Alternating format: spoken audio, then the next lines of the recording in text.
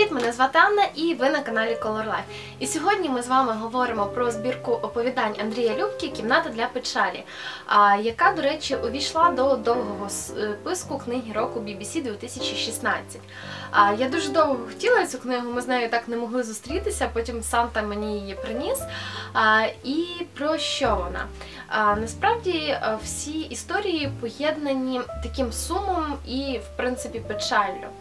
Але вони всі різні і дуже самобутні. І до речі, хочу сказати, що оскільки я читала всі книги Андрія Любки, як на мене, то ця книга вона досить зріла. Якщо раніше в його книгах присутні дівчата вони були такі вибухами з дуже багатьма еротичними сценами, моментами, от як шампанське, так, то ця книга вона більше схожа на таке дуже добре вистояне вино. А навіть дівчата, які, звісно, присутні в книзі, вони вже трошки не такі. І герої їх сприймають, напевне, через призму віку, досвіду і певних своїх особливостей і стану на той чи інший момент. А насправді мені не дуже сподобались головні герої книги. А, ну, як мінімум, тому що я позитивно сприймаю цей світ, так? І налаштована. А тут вони всі чомусь у печалі, їм чогось бракує. А, Хлопець згадує про дівчину, яка давно поїхала за кордон, яка певний час жила з ним, і він там розуміє, що вона залишила а, дуже великий слід в його житті. Але на момент, коли вона його покинула і поїхала, він навіть її не шукав. А чоловік, який втратив дружину а, і не почав жити далі, а якби перестав існувати в цьому світі, його поглинули спогади, і він весь час проводив сам і от в тій кімнаті для печалі.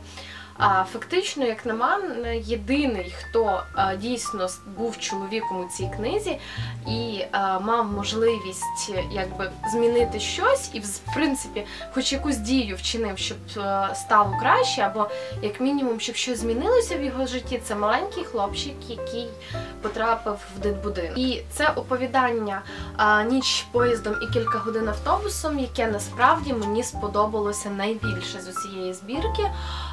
Тому що після нього я не змогла читати далі. Воно мене дуже сильно вразило, воно зачепило і ну воно дійсно до мурашок аж пробирає. А мені сподобалося оповідання королева рами. Напевне, тому що воно розповідає історію про давні часи. Я дуже люблю історичну тематику, і відповідно там вона є. І мені здається, що з цього оповідання вийшов би непоганий роман, навіть якщо а, так розкрутити його, якщо додати героїв, і взагалі ну дуже хороше обрамлення. А, Ми бачимо сучасний час, а потім. Ми потрапляємо в якусь зовсім іншу історію, і чим це все завершується, це дійсно дуже сильно. І а, чайки над островом це мені здається найбільш автобіографічне оповідання з усієї книги. А, Принаймні, так, якщо трошки слідкувати за життям автора. А, І якщо чесно, то Андрій Любка настільки оголюється в ньому. Що тобі мимоволі стає дивно, як він в принципі не побоявся залишити його тут, а залишити на показ, так? Деякі свої, можливо, слабкості, принаймні це моя думка. А, І ось так бути далі. Чому слабкості? Тому що м для мене Андрій Любка, а, Сергій Жадан Іздрик це в першу чергу поети.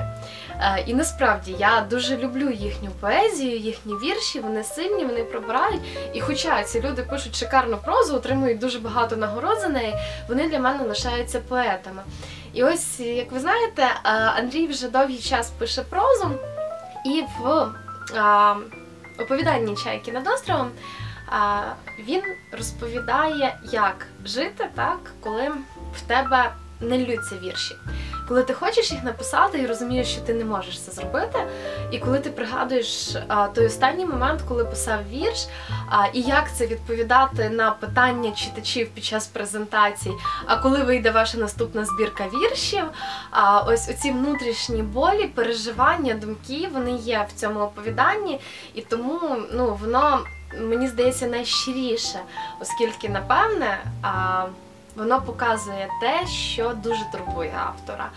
А, і насправді книга дуже хороша. Я би не сказала, що її можна проковтнути там за день ніч, хто коли читає, а, тому що кожне з цих е, оповідань воно дуже торкає тебе чимось, і ти не можеш ось так перегорнути наступну сторінку і на одному подиху читати далі. Принаймні, такою ця книга була для мене. Тож, якщо вам сподобалось моє відео, ставте лайки, підписуйтесь на мій канал і до наступних зустрічей.